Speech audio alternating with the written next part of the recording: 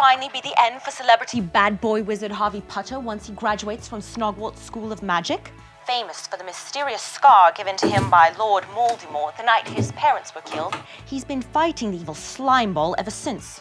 But young Harvey has profited heavily from his misfortunes by appearing in scores of commercials, TV shows, and of course, the wildly successful semi autobiographical film series based on his life.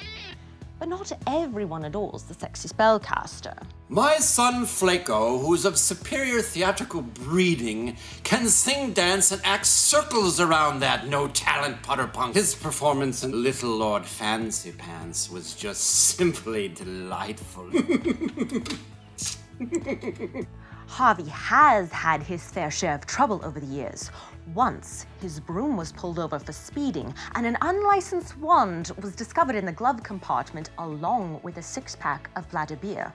He's been in and out of foster homes and now resides with his non magical aunt and uncle, Pneumonia and Vermin Worsley. He's also been linked to the magical militia run by renegade twins Ned and Forge Cheesley. Today, the bureaucracy of sorcery issued their own statement. While we acknowledge young Putter's contributions to thwarting evil, he should stick to signing autographs and leave the bureaucracy to deal with the WMDs or warlocks of magical destruction.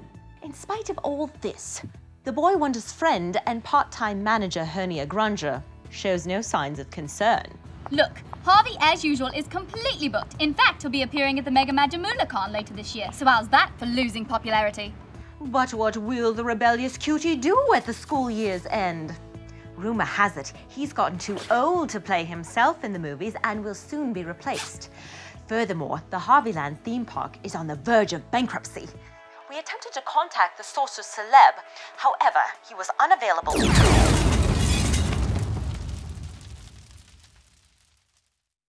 Bleeding witch.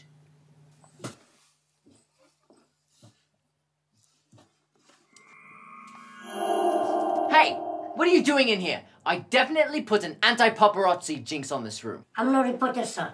I'm Dumpy, the house Horsemark. I come to warn you that my master desires to do great harm. Harry Potter must not return to Snogwarts. Says who? I cannot say, sir, or there will be punishment most harsh. Like I care. Now, just tell me exactly who's doing. Oh! Right in the cauldron cakes! I'm not sorry, sir, but I'm bound by an incapacitating spell. Oh, well, then what can you say? Oh! that's it. You!